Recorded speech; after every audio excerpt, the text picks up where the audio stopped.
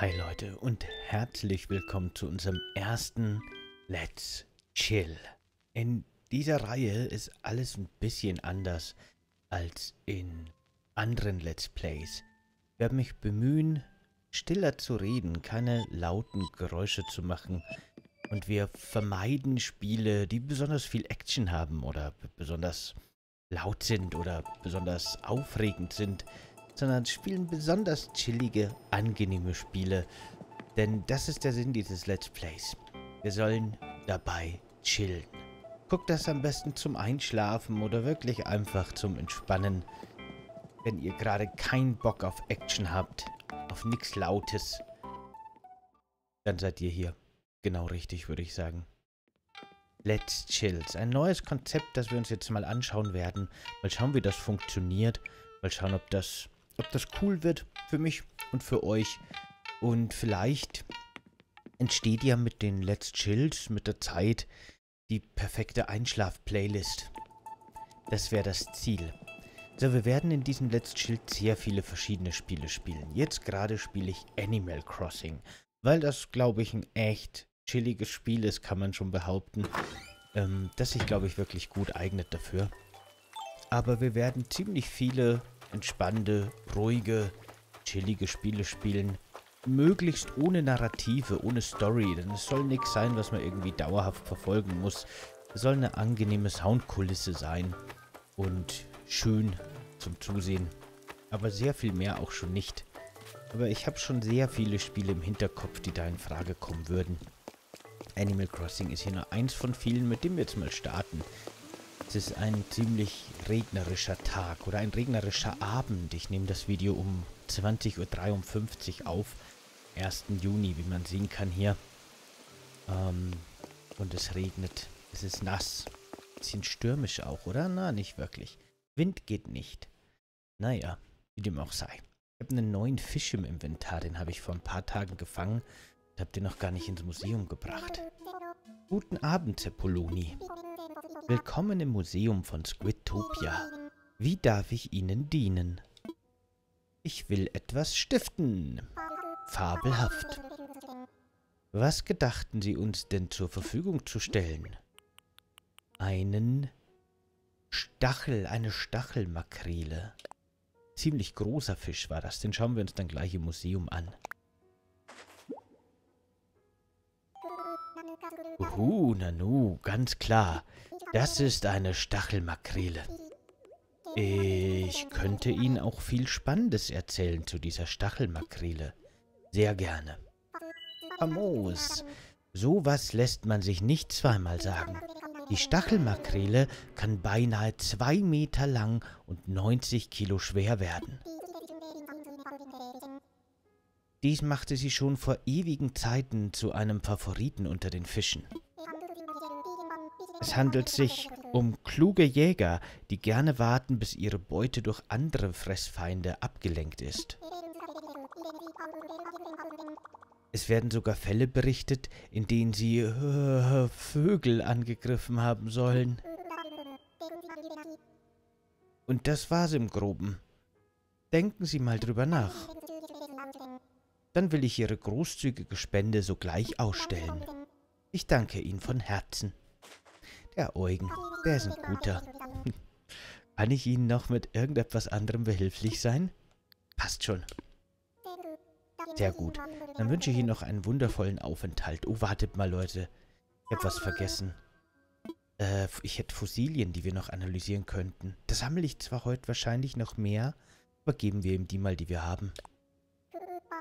Uh, was darf ich für, für Sie prüfen? Juhu, die Vorfreude hier immerhin fünf Stück, fünf unbekannte Fossilien, die unser Experte für uns mal analysieren wird. Uh, nicht nur ein Fund, sondern gleich mehrere, dann mal rasch ans Werk. Ihre Funde sind von überwältigender Güte, kein Zweifel. Wir haben selbst bereits solche Stücke im Museum. Wenn ich finanziell disponierter, was disponibler wäre, ach so, würde ich Ihren Fund ja liebend gerne für meine Hobbysammlung kaufen.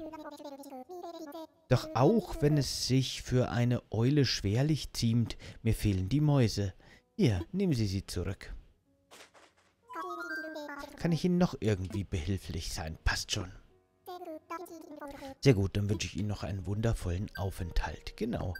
Hey, wir haben irgendein Noobmine Plus Achievement. Ach so, das tägliche Achievement, dass wir zwei Fossilien analysieren sollen. Sehr schön. Na dann schauen wir mal ins Aquarium hier im Museum.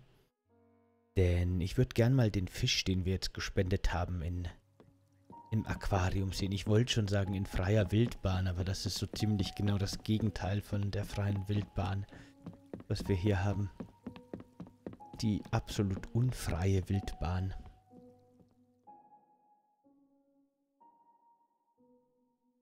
Der ist wahrscheinlich bei den Tiefseefischen, nehme ich an. Oder ist er hier dabei? Nee, doch, da ist er. Der Thunfisch, der Merlin heißt er oder so ähnlich.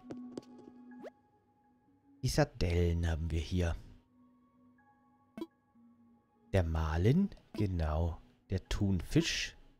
Und hier ist sie, die Stachelmakrele. Was ist denn da noch für ein kleiner Fisch mit dabei? Der wird gar nicht aufgelistet. Vielleicht ist da drüben ist noch eine Plakette. Die Makrele. Die normale Makrele.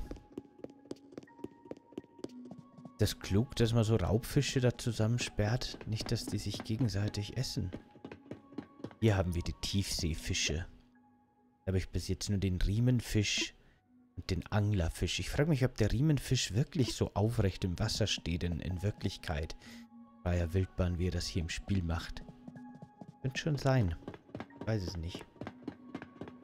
Manche Fische machen seltsame Sachen. Überhaupt. Viele Kreaturen, viele Lebewesen machen tatsächlich sehr seltsame Sachen.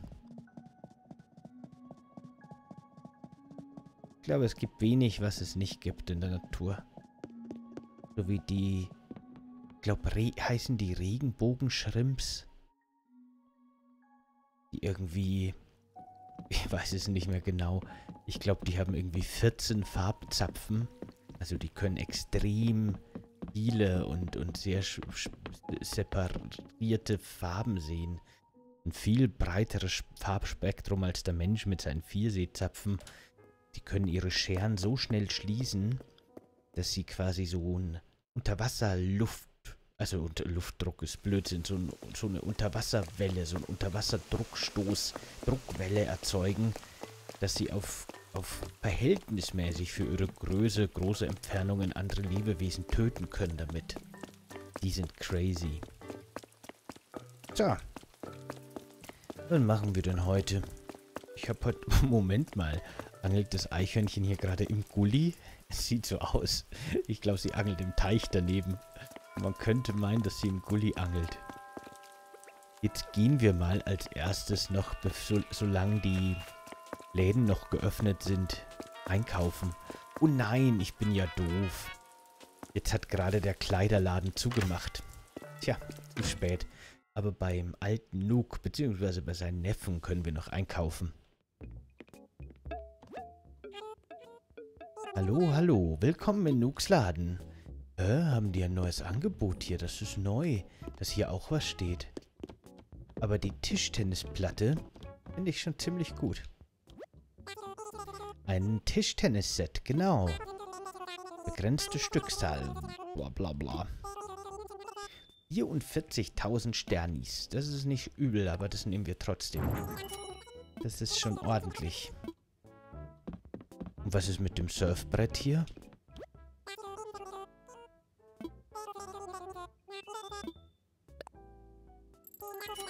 Ich nehme das, aber mir wird überhaupt nicht erklärt, warum das hier steht. Ist das, ist das jetzt neu? Gibt es jetzt hier immer mehr Sachen zu kaufen? Oder, naja, wie dem auch sei. Tschüssi. Brauchen wir nämlich, um außen ein bisschen zu dekorieren. Ich habe nämlich noch große Pläne für die Insel. Momentan habe ich ja wirklich hauptsächlich hier die, die Kerninsel so ein bisschen dekoriert. Also ein bisschen viel sogar.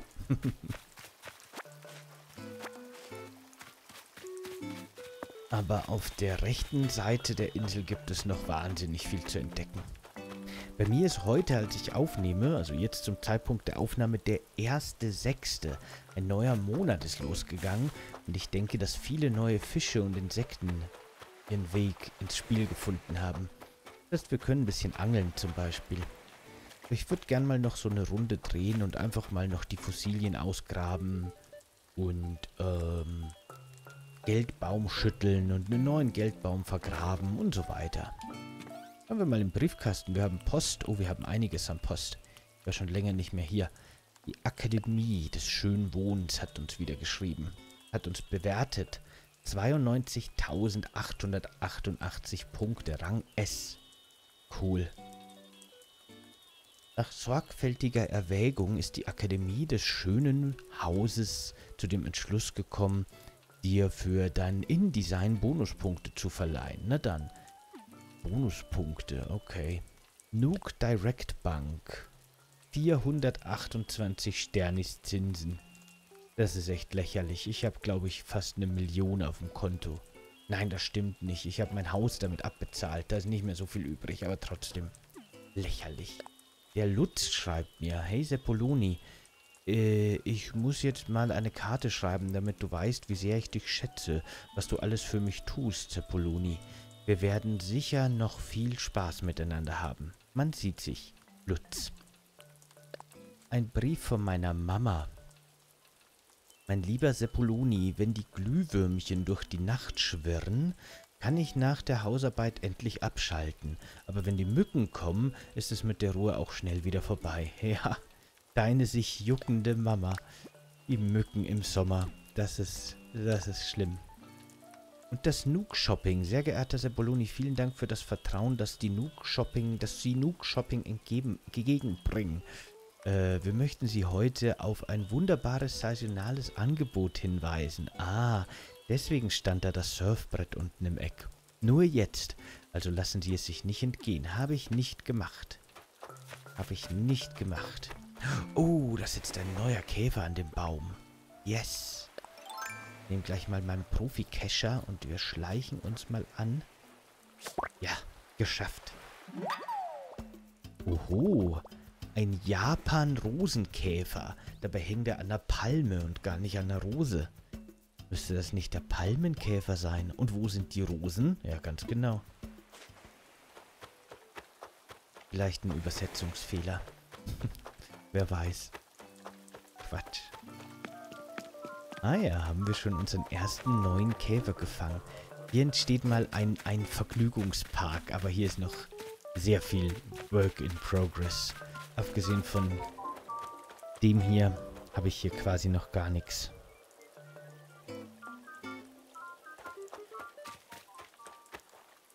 Na gut, wo ist denn meine Schaufel?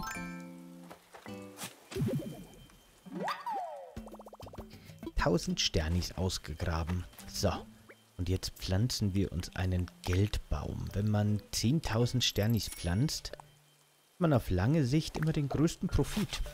Deswegen mache ich das jetzt täglich. Dann kriegt man zwar auch immer nur 30.000 Sternis, die man jeden Tag ernten kann. Aber wie gesagt, auf lange Sicht das Sinnvollste. Ich glaube, ich fäll den Baum hier mal. Der ist mir zu sehr im Weg. Zu viele Bäume. Auch nichts. So, weg damit.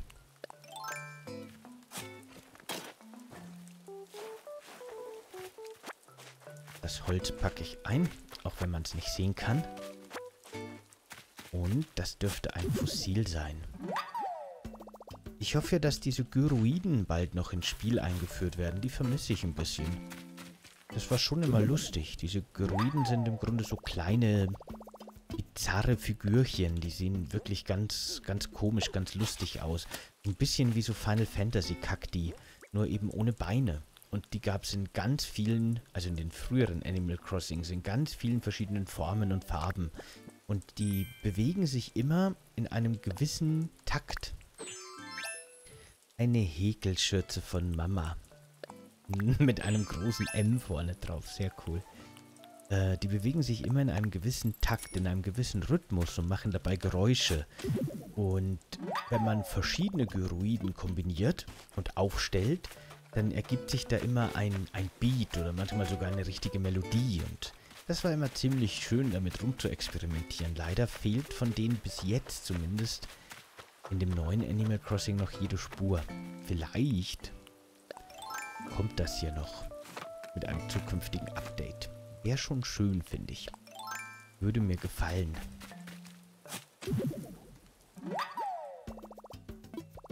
Ah, meine Tasche ist voll. Ich muss echt mal irgendwas gegen meine vollen Taschen tun, aber was denn? Müsste Sachen in mein Haus bringen. Aber ich glaube, fürs Erste werde ich einfach mal hier zwei Stöcke ablegen, damit ich das eine Fossil noch mitnehmen kann.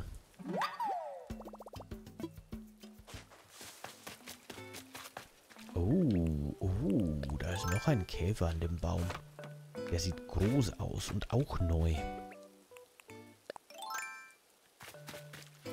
Schleichen wir uns wieder an. Nicht zu nah und nicht zu weit weg. Das ist das Geheimnis beim Käferfang. Oh mein Gott, der ist riesig. Guckt euch diese Mundwerkzeuge an. Oho, ein Prachthirschkäfer. Mit dem Aussehen könntest du auch ein Platzhirschkäfer sein. Ah. Ich muss kurz irgendwas aus meiner Tasche werfen dafür. Nehmen wir mal die drei.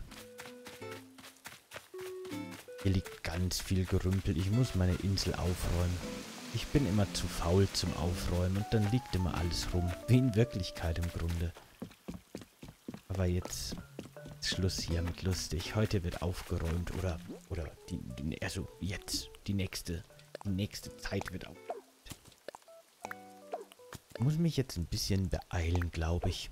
Ich will noch verkaufen und um 10 Uhr macht der Laden zu.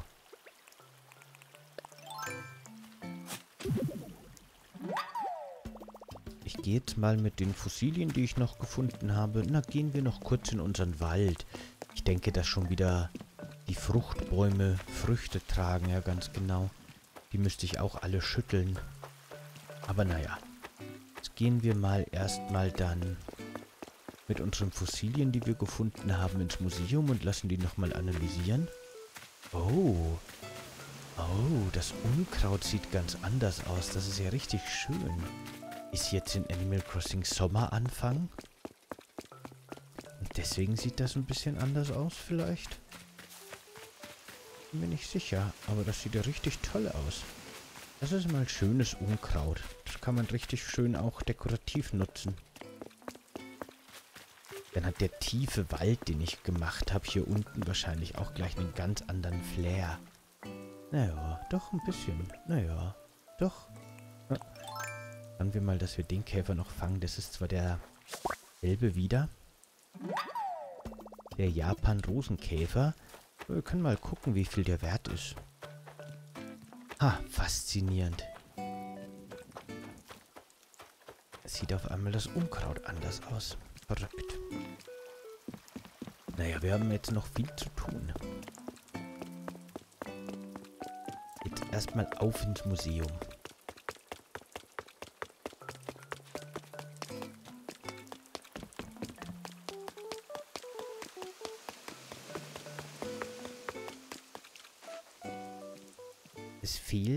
Museum, also es fehlen noch etliche Käfer und Fische und vor allem Kunstwerke habe ich kaum.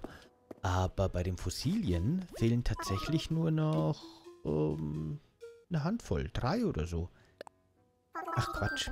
Naja, ist ja egal. Okay, dann stiften wir erstmal die beiden Käfer, die wir neu gefunden haben. Oh, gleich mehrere Stücke. Dann wollen wir doch mal sehen. Welch Freude. Eine solche Spende nehme ich mit Vergnügen entgegen. Aber bitte, Sie brauchen mir die Stücke nicht einzeln zu geben. Ich nehme sie Ihnen ohne Mühe ab. Gut, dann analysieren wir mal schnell die Fossilien noch, die beiden. Äh, die vier sind sie ja mittlerweile. Nicht schlecht. Ah.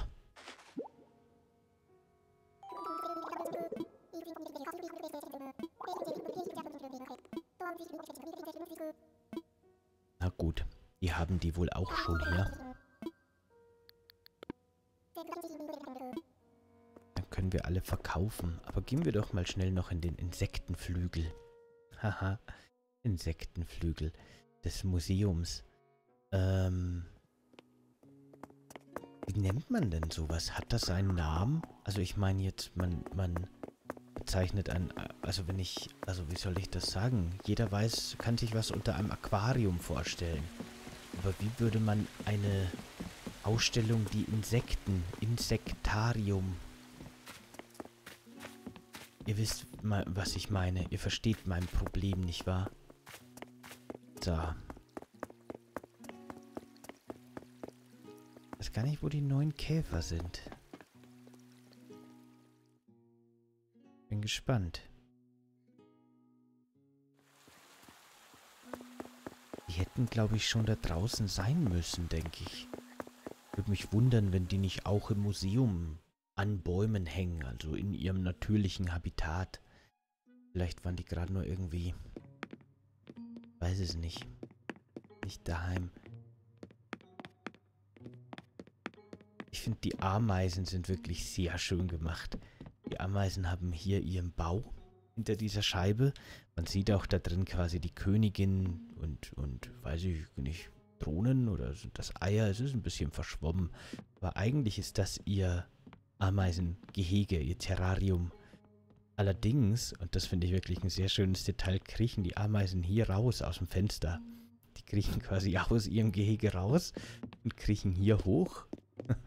Und hier können wir einen Kaffee mit zwei Stück Zucker sehen. Und da haben die Ameisen eine Ameisenstraße gebildet. Das ist wirklich ein total nettes Detail, oder? Fand ich sehr lustig, dass die Ameisen hier wirklich so eine Ameisenstraße aus ihrer, aus ihrem Terrarium raus zu dem Zucker machen. So sind Ameisen eben. Die lassen sich eben nicht so leicht einsperren. Ach, da sind die beiden neuen. Die sind alle beide hier an dem Baum. Gemeinsam mit der Spinne, der Wespe, noch irgendeinem Schmetterling. Die Spinne. Daran merkt man bei Animal Crossing, dass es nur diese eine Spinne gibt, weil oft haben die Tiere, die man fangen kann, sehr spezifische Namen. Aber wenn es nur die Spinne ist, einfach nur Spinne und nicht die ne, schwarze Witwe oder so, dann gibt es nur diese Spinne. Ah, Moment, stimmt nicht ganz. Es gibt tatsächlich eine Vogelspinne nochmal extra. Aber gut. Wo ist denn bitte das Schildchen für die anderen Bewohner hier am Baum? Ich würde gern mehr als nur die Spinne sehen. Ja, seltsam.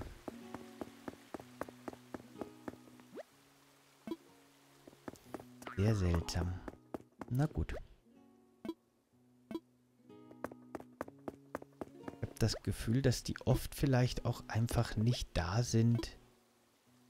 Hier, guck mal. Da, wenn ich hier drauf gehe, sagt er auch Japan-Rosenkäfer und Japan-Schillerkäfer, äh, Schillerfalter. Die sind aber gar nicht hier. Die sind da. Aber gut, in so einem freien Habitat hier.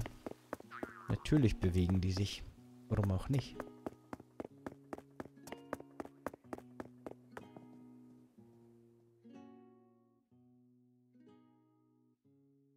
So.